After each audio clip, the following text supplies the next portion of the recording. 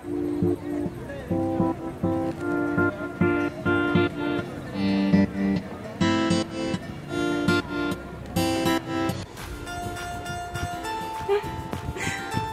Ice cream को explore कर दी गया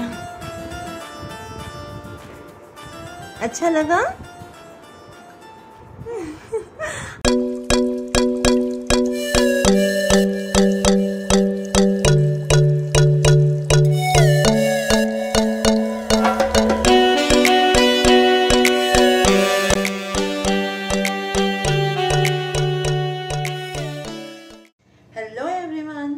होप आप सब बहुत अच्छे होंगे।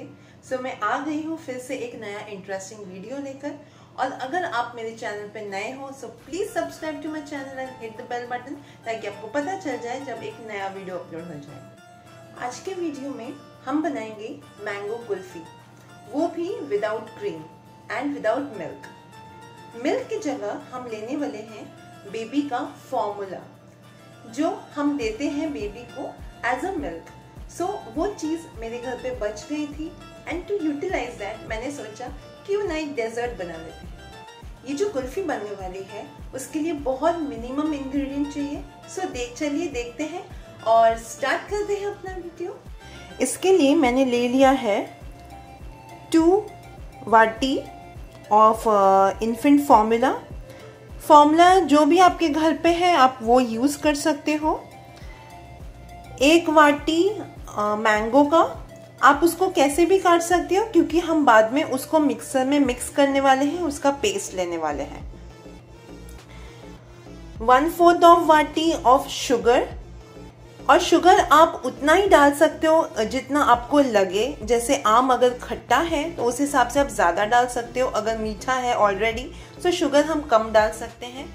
And two tablespoon of cornflour सिर्फ़ इतना ही इंग्रेडिएंट चाहिए हमारा यमी कुल्फी बनाने के लिए। सबसे पहले मैं गैस ऑन कर रही हूँ। अब फॉर्मूला जो है, वो हमारे पाउडर फॉर्म में रहता है। सो इसलिए हम थोड़ा सा पानी डाल देंगे, ताकि हमको एक बहुत बढ़िया पेस्ट मिल जाए।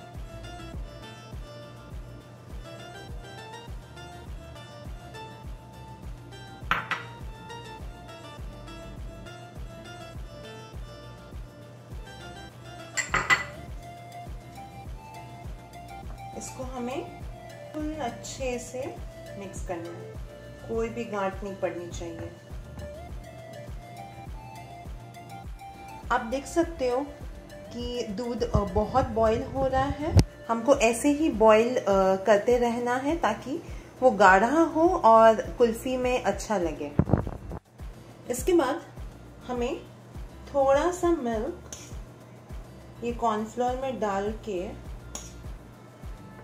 इसको मिक्स कर लेना है।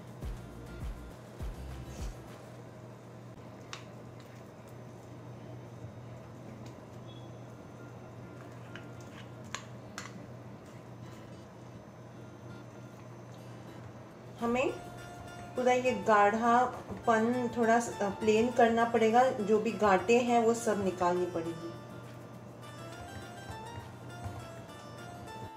ये हो गया है हमारा। इसके बाद हम थोड़ा सा शक्कर डालेंगे और उसको मिक्स कर लेंगे अच्छी तरह से।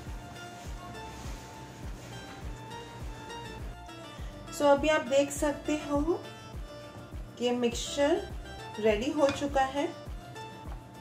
अभी हम इसमें मैंगो डाल देते हैं।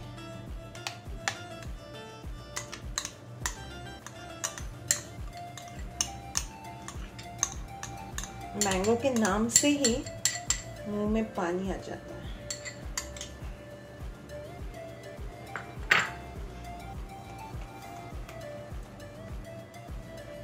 मैंगो से कलर ही चेंज हो गया, एक बढ़िया सा कलर आ चुका है। अभी इसमें हम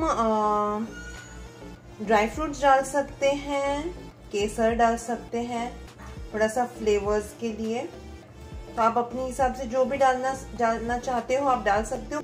इसको आप अभी कैसे भी गार्निश कर सकते हो? अब मैंने थोड़ा ड्राई फ्रूट्स डाल के गार्निश किया है। थोड़ा सा केसर डाल रही हूँ।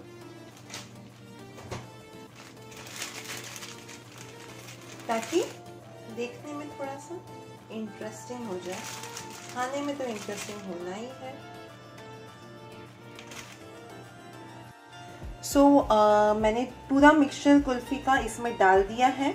अब हम इसको फ्रीज़र में डालेंगे है थ्री टू फोर आवर्स या फिर ओवरनाइट और फिर ये हो जाएगा हमारे डेजर्ट के लिए रेडी सो so, uh, देखते हैं ये कैसे बना है और कैसे लगता है ये टेस्ट में ये देखिए कितना सुंदर सा आया है। एकदम टेक्सचर भी बहुत अच्छा आया है उसका कलर भी बहुत अच्छा आया है। कुछ टाइम में हम देखेंगे कि इसका टेस्ट कैसे हुआ है। सो so, आप लोग प्लीज़ इसे घर पे ट्राई कीजिए। कमेंट पे डालिए मुझे कैसे लगा आप लोग को। और अगर आपके पास कोई और सजेशन है कि फार्मूला मिल्क से हम और क्या क्या बना सकते हैं सो प्लीज़ कमेंट में डालिए मैं उसे ट्राई करूँगी और आपके लिए एक नया वीडियो ले आऊँगी।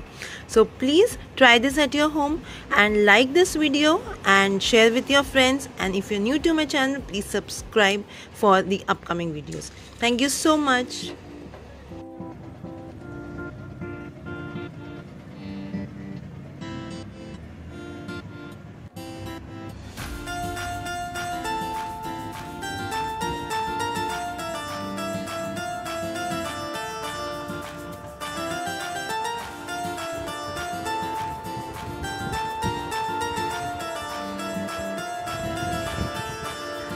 वही खाओ बाहू